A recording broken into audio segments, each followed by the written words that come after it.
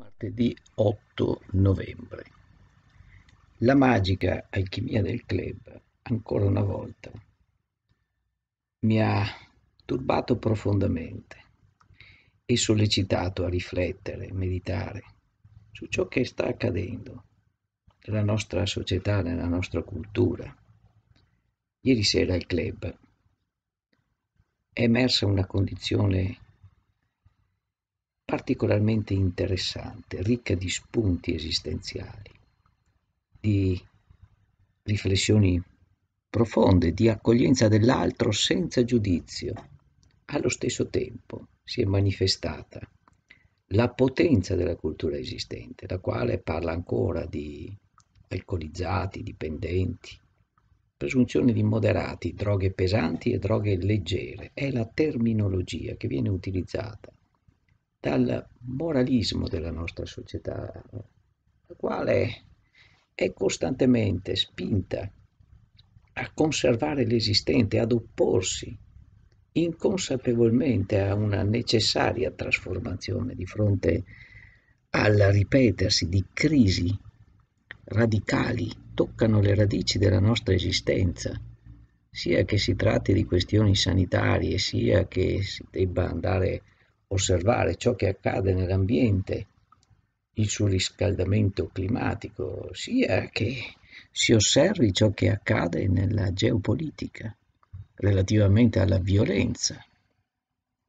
organizzata dalla guerra. A quale fine?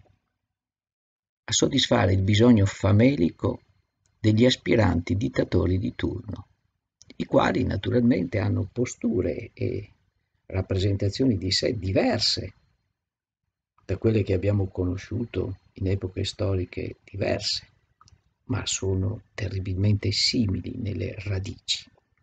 E quelle radici ci riguardano profondamente perché parlano del nostro egocentrismo, della nostra idea che abbiamo forgiato nel corso del tempo, che i sistemi educativi hanno rafforzato, di essere persone capaci di volontà, decisione, una parola è emersa ieri al club, intenzione. Interessante questa parola, dovremmo approfondirla.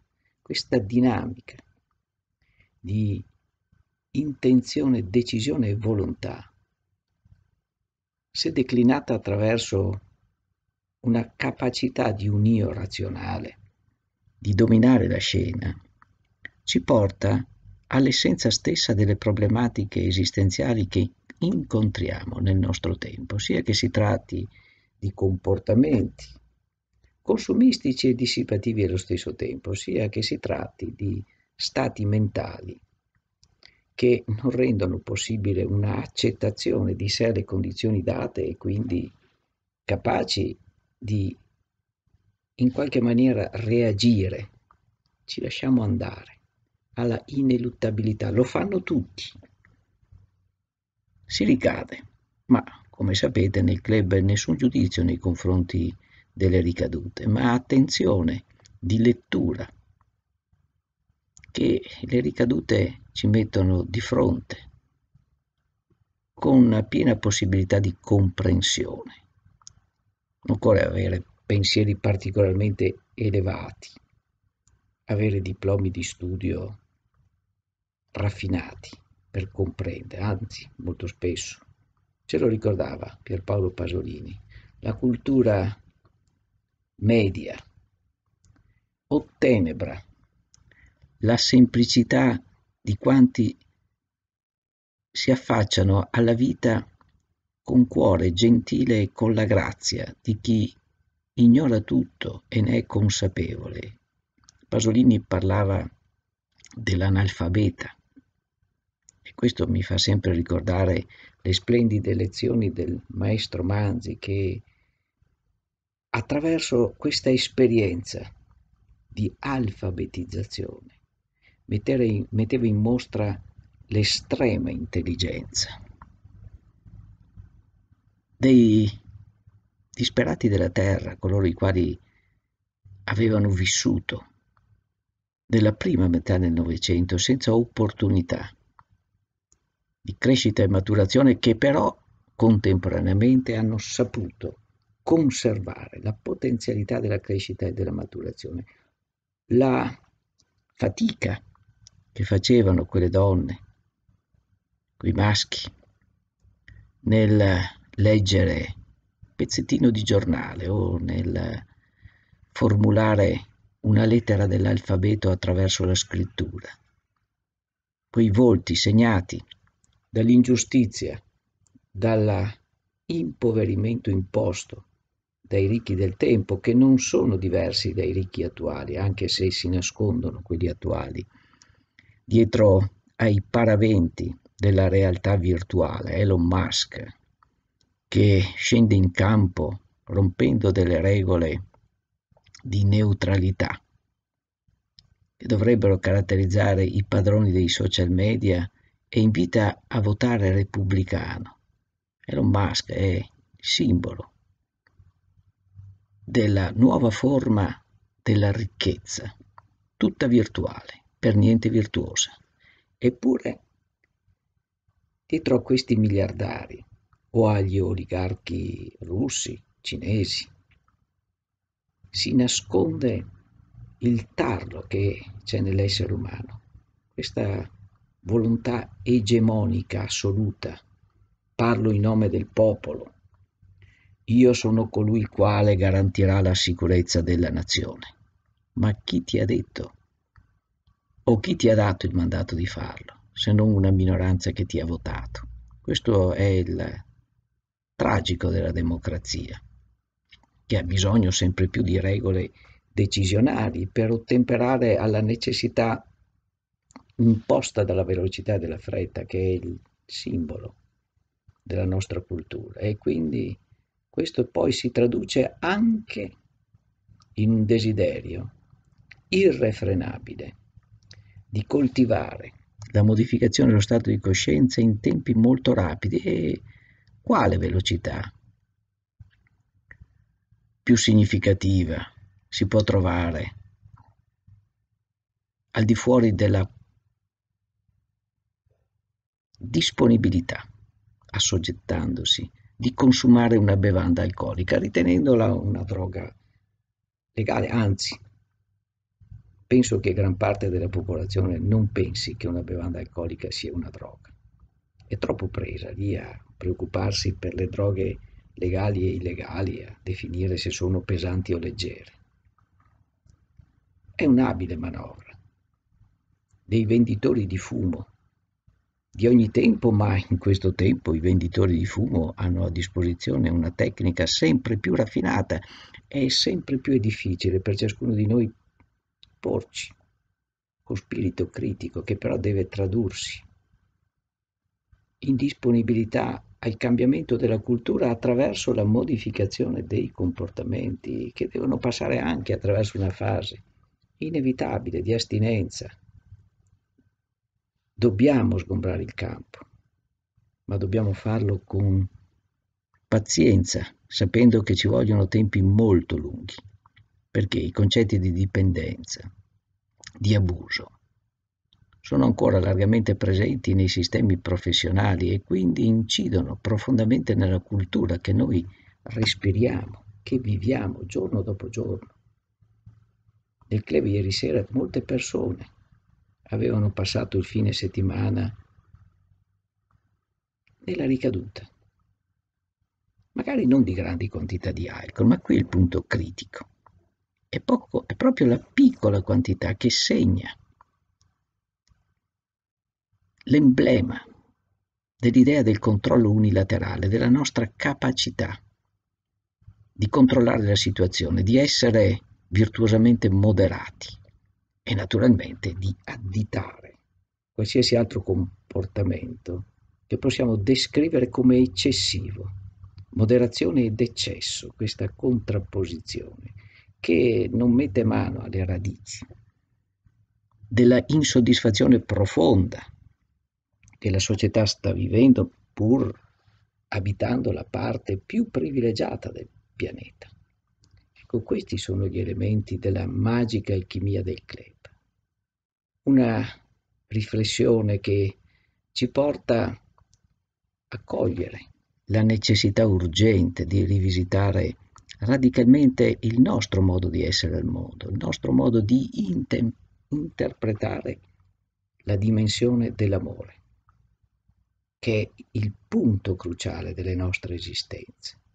Poi dobbiamo toccare attraverso questo il senso della solitudine, che non riusciamo ad abbracciare in una prospettiva autenticamente ecologica.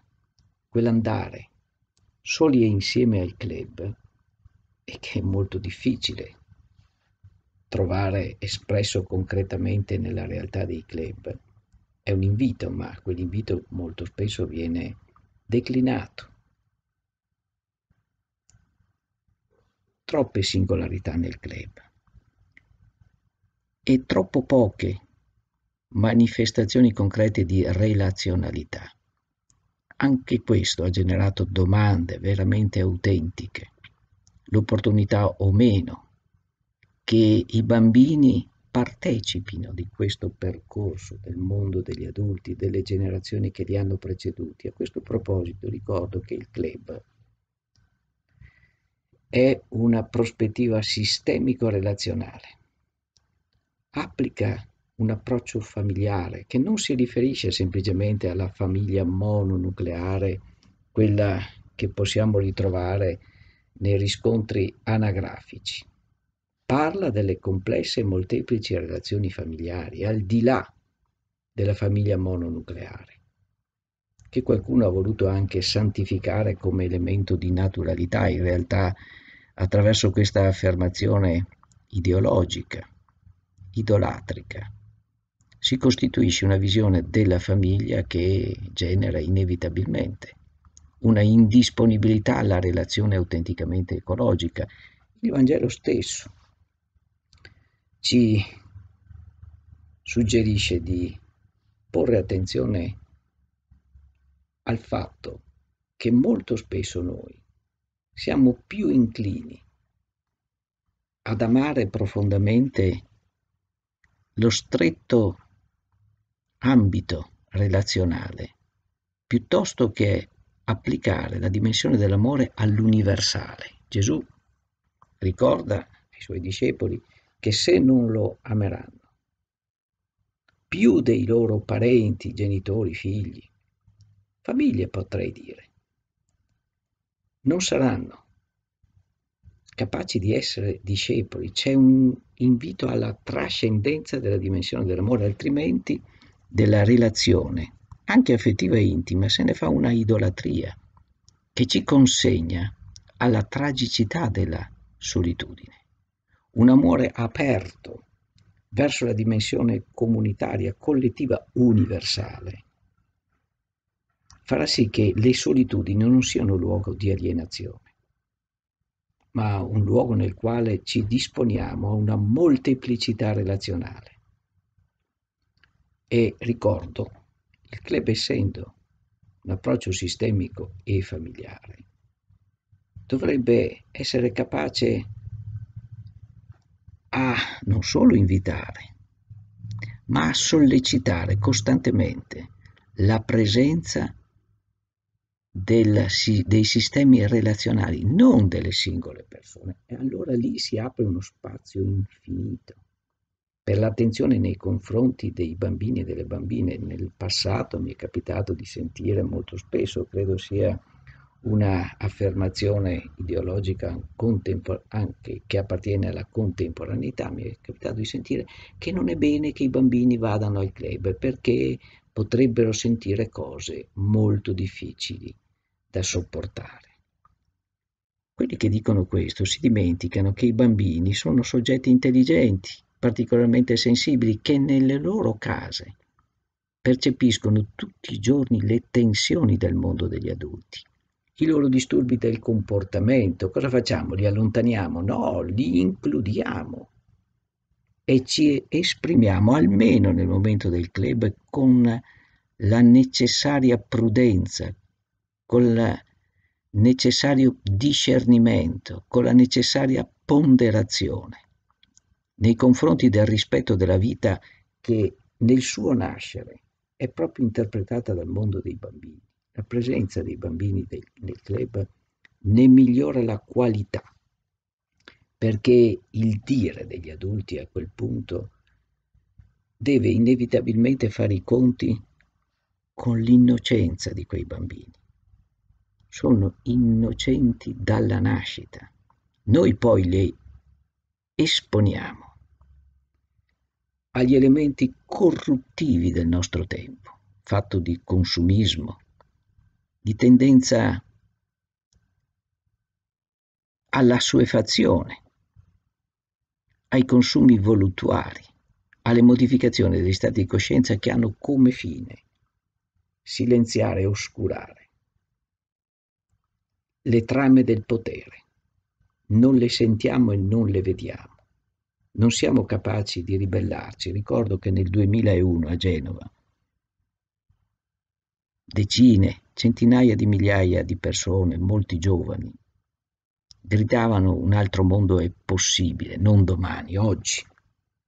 Furono repressi nel sangue, nella brutalità della violenza del potere, perché il potere ha capito perfettamente che la possibilità di vivere intensamente, passionalmente e concretamente un mondo diverso nel qui ed ora significa porre fine liberamente e pacificamente a quelle trame di potere che si fondano sulla concentrazione delle ricchezze nelle mani di pochissimi attraverso lo sfruttamento della terra e attraverso l'esasperazione dei consumi, che generano inevitabilmente inquinamento.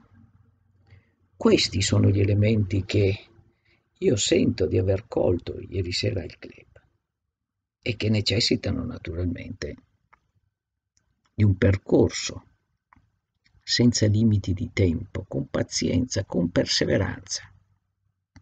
Allora il club è un sistema di cura, sì, lo è a tutti gli effetti, ma non è una forma tradizionale delle terapie che vogliono forgiare l'altro in conformità a un disegno culturale, del quale si finisce per essere semplicemente, come diceva Gramsci, i camerieri del capitale, dei servi, utili al capitale, degli utili idioti che servono un capitale il quale è disposto a mettere a repentaglio la stessa sopravvivenza della specie umana per garantire. Pochi ricchi esasperati ed esasperati, i quali dovrebbero essere semplicemente inviati in qualche club per emendarsi rispetto alla loro tendenza all'appropriazione, una sorta di impulso che però li lascia sempre costantemente insoddisfatti, non sanno distinguere tra il bisogno e il desiderio. Il bisogno è insaziabile, sì, ti sazia per un attimo, poi ti spinge ancora a desiderare, a volere una famelica forma comportamentale che usa a sproposito le risorse della terra. I club dovrebbero parlare un linguaggio radicalmente diverso e a mio parere possono farlo, possono mettere in scena un linguaggio diverso se sapranno uscire da quella timidezza della solitudine e trovare il coraggio di una solitudine che abbraccia l'universale, come ci insegna il Tao Te Ching e ci insegnano anche i grandi maestri mistici, Rumi, San Francesco. Noi celebriamo molto la figura di San Francesco, ma siamo indisponibili ad accogliere il suo invito radicale alla conversione, alla armonizzazione con la natura e con l'altro nella sua diversità, senza giudicarlo, ma accogliendo nei momenti difficili non solo la necessità di comprenderne il significato, ma allo stesso tempo dare spazio alla possibilità non del cambiamento di quella persona, ma della cultura che ha fatto sì che quella persona finisse per cadere in un abisso senza saperlo. Questi sono i punti cruciali e questa è la difficoltà del club.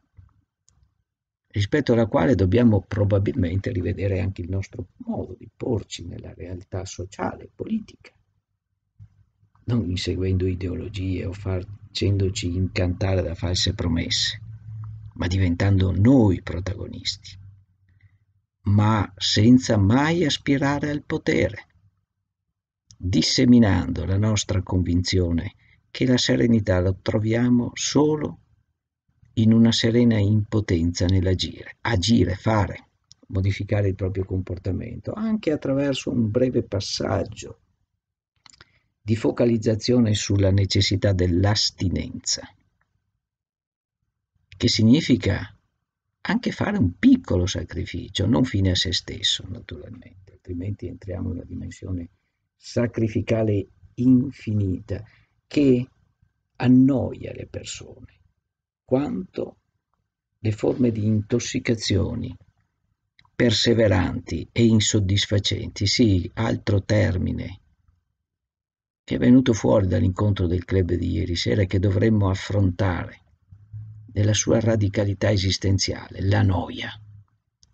Ci permettiamo di vivere da annoiati.